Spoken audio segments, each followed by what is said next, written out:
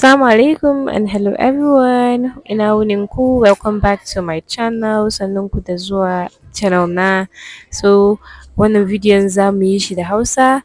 Ana kuma wannan dai is just a random video like na hahaɗa abubuwa dai masu mahimmanci a kan turaren wuta. So um, um, wani sa'in mutane dai suna tambaya na ya ake jika turare? Ya kike jika turaren ki malama Aisha? To gashi nan dai ga yanda nake jika turare na. Kun gani dai za ku nemi roban ku mai kyau mai tsafta ko kwalba sai ku zuba itacen turaren ku sai ku jika. So uh, akwai videos da na yi akan farce. Mutane da yawa suna ce min like ba sa ganewa. In duk abin da baku gane akan bidiyon da na yi kawai ku tambaye ni a comment section na bidiyon zan ba ku ansa.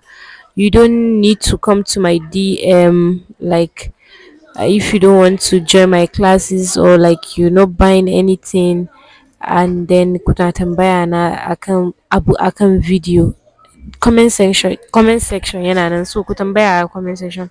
So uh, wannan bidiyon yanda nake yin hawi akwai yanda nake yin sorry yanda nake yin farce. Da farko na um, na tafasar da farce na na awa ɗaya da ruwan da shampoo shampoo eh shampoo da ake wanke gashi da shampoo da toka.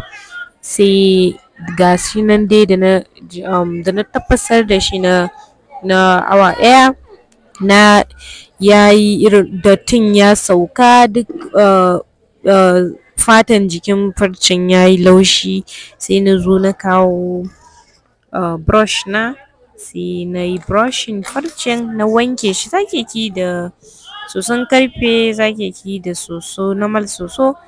Amma ni na yi amfani da brush. A nan brush kuma ya zama brush mai tauri dai wanda zai cire miki fatan da yake jikin farcen.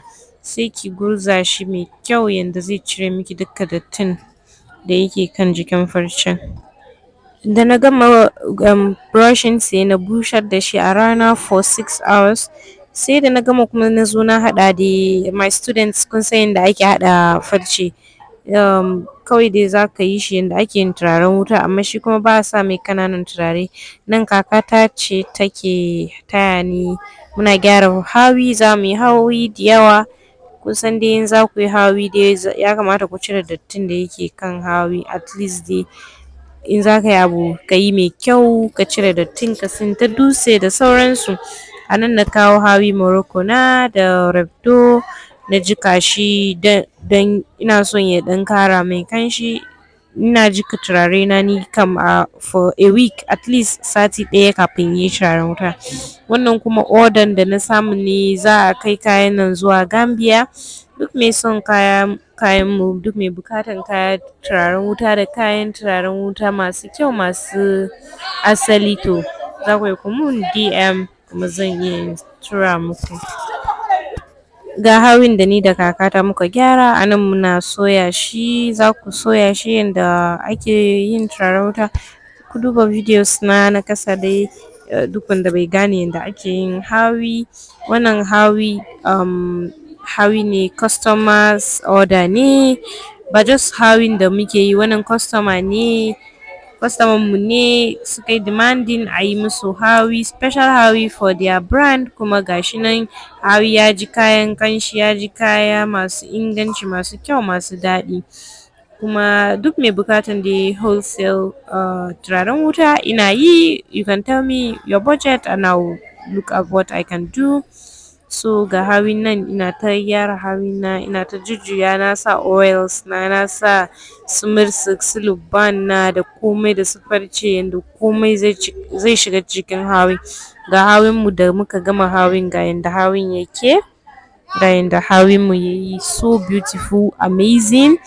Bari yi posting review din ma yanda customer mu yayi receiving kuma ya ji daɗi kuma bayan wani a gari kuma still na haɗa wasu turaren wuta na jijjiga wasu turaren wuta kamar su halud su kajiji su gabgab su sandal original su sandal coils.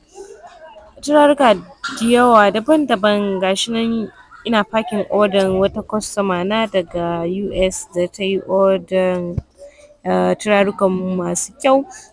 Ta ce wai tana son kajiji balls guda tara kajiji balls na fara sa da sandal coils da da sandal yeah da sandal coils da hawi da gab-gab da kuma kabasa spray namu mai ƙanshi mai ƙanshin sandal oud mai kuma sai kuma da nalbanat da nalbanat da kuma um halud namu. So ga kayan ta dai gashi nan yanzu na gama harhaɗa mata kayan ta na yi sealing na ɗauka hotunan da zan ɗauka ga hotunan da na ɗauka. Kai jama'a akwai wahala fa. Business owners in the building ya kuke yi in zaku ɗauka product um hotunan product naku kuyi posting a social media like aha yanzu kuma na tuna please don't send me a DM on my Instagram. I've been having problem with my Instagram. I'll drop my number. In the description box iya ku tura min message. Um zan ajiye number na a description box ku tura message. So gashi nan dai a nan zan je in sa a DHL I hope kun gane wannan bidiyon. I hope kuma kun ji daɗin wannan bidiyon. Duk abin da baku gane ba akan bidiyon da na yi like a YouTube ku tambaye ni a comment section. Amma in kuma ba don like tambayan akan bidiyo don Allah kar ku tambaye ni a DM ku tambaye ni a comment section. Don wasu za su ƙaru in kuna tambaya a comment section. So kar ku manta kuyi subscribe kuyi liking kar ku manta kuma kuyi sharing wannan bidiyo da ƴan uwanku don su ƙaru um waƴannan abubuwan na lissafa muku dai kabasa spray gab-gab um kajiji balls halud hawi da sandal coils. Wannan asalin turaren wuta sai wanda ya gwada zai ji daɗin shi. See you in my next one.